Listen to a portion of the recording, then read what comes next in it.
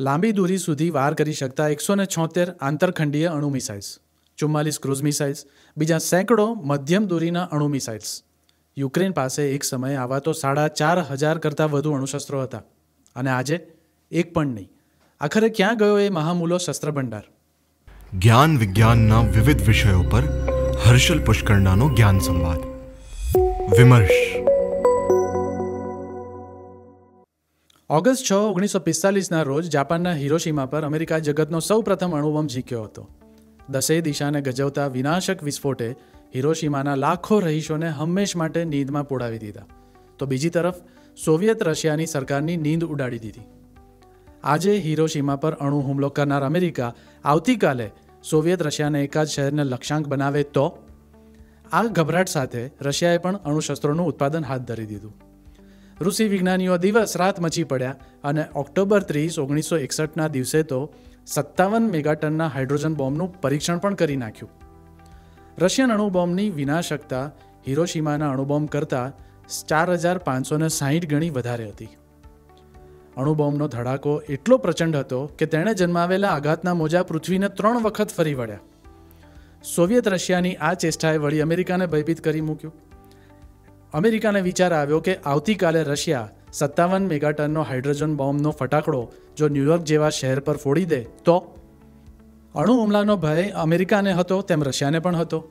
આ નાહકનો ભય બંને દેશો વચ્ચે વધુને વધુ સંખ્યામાં તેમજ વધુને વધુ વિનાશક અણુશસ્ત્રો બનાવવાની દોડ શરૂ કરવા માટે કારણભૂત બન્યો. રેસ એવી ચડસાચડસીની હતી કે ઓગણીસો એંસી સુધીમાં તો બંને મહાસત્તાઓ પાસે કુલ મળીને અડસઠ હજાર અણુશસ્ત્રો હતા. આ પૈકી લગભગ ચાર હજાર છસો અણુશસ્ત્રો તો વર્તમાન યુક્રેનની ભૂમિ પર જુદા જુદા સ્થળે ટ્વેન્ટી ફોર સેવન તૈનાત હતા. તો સવાલ એ થાય કે યુક્રેન પાસે ભૂતકાળમાં સાડા ચાર હજાર કરતાં વધુ અણુબોમ્બ હતા, તો આજે તેના શસ્ત્રાગારમાં સમ ખાવા પૂરતો નાનકડો અણુ ટેટો પણ કેમ નથી? આનો જવાબ ત્રીસેક વર્ષ પહેલાંના ભૂતકાળમાં નીકળે છે.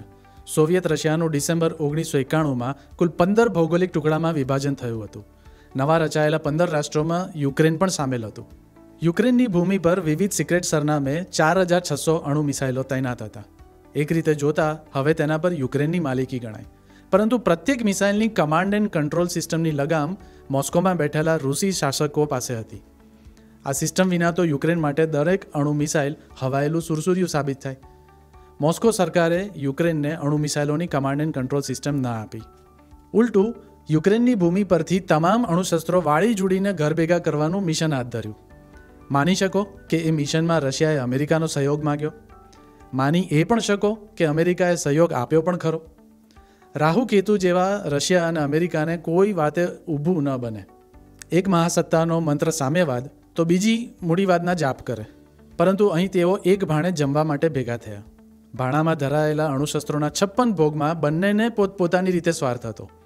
રશિયાને યુક્રેનના અણુશસ્ત્રોનો ઝડપી નિકાલ કરવો હતો, જ્યારે અમેરિકાને તે શસ્ત્રોમાં રહેલું યુરેનિયમ અને પ્લુટેનિયમ પરબારું મેળવી લેવું હતું. ડિસેમ્બર પાંચ, ઓગણીસો ચોરાણુંના રોજ અમેરિકા, રશિયા અને યુક્રેન વચ્ચે એનપીટી નામની પરમાણુ અપ્રસાર સંધિ થઈ. નવા અણુશસ્ત્રો નહીં બનાવવા અને બનેલા અણુશસ્ત્રોને નાકામ કરી દેવા તે એનપીટી સંધિનો અજેન્ડા હતો. અમેરિકા વતી બિલ ક્લિન્ટને, રશિયા વતી બોરિસ યેલ્સિને અને યુક્રેન તરફથી લિયોનોર્ડ કુચમાએ એનપીટી પર હસ્તાક્ષર કર્યા. નવા સવા સ્થપાયેલા યુક્રેન દેશના પ્રમુખ ગાંધીવાદી હશે કે કેમ એ તો કોને ખબર, પરંતુ તેમણે ભરેલું પગલું શાંતિ અને અહિંસાની દિશાનું હતું. વિનાશક અણુશસ્ત્રો પ્રત્યે તેમને વૈરાગ આવી ગયો હતો. ઓગણીસો છ્યાસીમાં યુક્રેનના ચેર્નોબિલ અણુમથકમાં થયેલા આકસ્મિક વિસ્ફોટના પગલે યુક્રેનમાં થયેલી વ્યાપક તારાજીએ તેમને અણુશસ્ત્રો પ્રત્યે ઘૃણા અથવા વૈરાગ જગાડ્યા હતા. જે હોય તે પણ યુક્રેનના પ્રમુખ ભાવનાના પ્રવાહમાં તણાઈને ગંભીર ભૂલ કરી બેઠા. અમેરિકા અને રશિયા એનપીટી સંધિના નામે યુક્રેનના નહોર અને દાંત ખેરવી રહ્યા હોવાનું તેઓ પામી જ ન શક્યા. સંધિના બે વર્ષમાં તો યુક્રેનની ભૂમિ પરથી તમામે તમામ અણુ મિસાઇલો નાબૂદ થઈ ગયા. કુલ ચાર હજાર છસો અણુશસ્ત્રોનું શાંતિના નામે દાન કરવા બદલ રશિયાએ યુક્રેનને એક અબજ ડોલર વડે ખુશ કરી દીધું. અમેરિકાએ પણ પ્લુટોનિયમ અને યુરેનિયમના સાટામાં યુક્રેનને જંગી રકમનો દલ્લો આપી દીધો. આને કહેવાય ભેંસ ચોરીને ખીલાનું દાન કરવું. યુક્રેન સાથે ઘટેલી કોમિક કમ ટ્રેજિક ઘટનાની વાત તો હવે આવે છે. એનપીટી સંધિના અન્વયે રશિયા અને અમેરિકાએ યુક્રેનને બે પાકી બાંયધરી આપી હતી. નંબર એક, અમેરિકા અને રશિયા ભવિષ્યમાં ક્યારેય યુક્રેન સામે અણુશસ્ત્રો વાપરશે નહીં.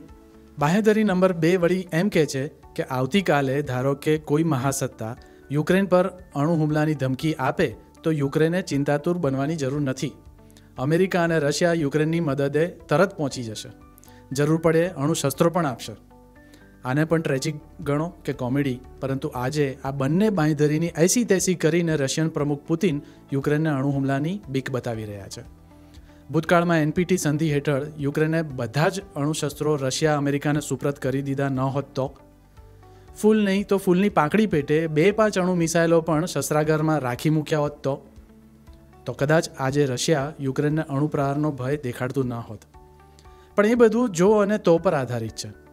જો અને તોના બે છેડા વચ્ચે જે પ્રસંગો રચાય તેનું જ નામ ઇતિહાસ. જે બરાબર સમજીને જાણો ત્યારે જ જો અને તોનું સાચું મહત્વ સમજાતું હોય છે.